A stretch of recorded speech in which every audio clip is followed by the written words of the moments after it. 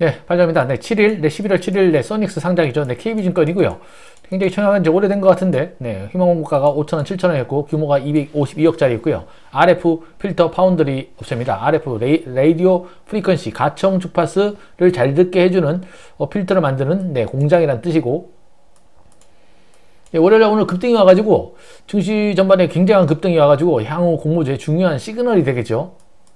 KB증권인데 저 같은 경우에는 뭐 이런저런 사유로 네, 수수료가 없는 계좌가 대부분이래 가지고 네, 청약을 다 했고요. 네, 비례도 2,500, 25,000주 청약을 했습니다. 뭐 비례 배정 16주, 균등 뭐 3주, 2주씩 다 받았고요.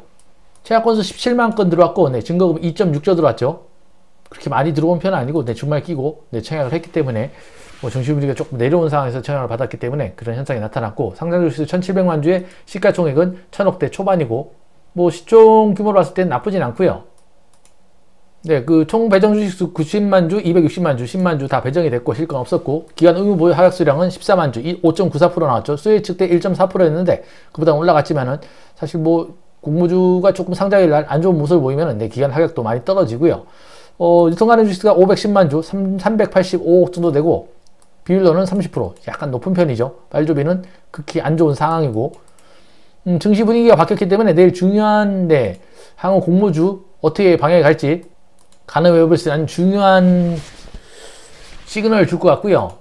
내일 잘 달려나간다 그러면은 에코프로 머테리얼까지 아주 좋은 영향을 주겠죠. 일단은 15,000원 공모가 더블 이상은 준다 그러면은 분위기는 반등됐다고 봐야 될듯 보여지고 음, 청약한 분들 저 같은 경우에는 한 30주 정도 조금 안 되게 갖고 있는 것 같고요. 30주면은 네, 한 20만 원 정도 되는 거죠. 네. 아, 참고로 오늘 원익 PN이 네, 어, 실건주 네, 1만 5천 주 정도 청약을 했고요. 네. 보통 때라면 안 할 생각이었는데 오늘 급등이 좀 왔고 한 4, 50만 원 정도 네, 배정을 받을 수 있겠다는 판단하에 네, 청약을 한 거고요.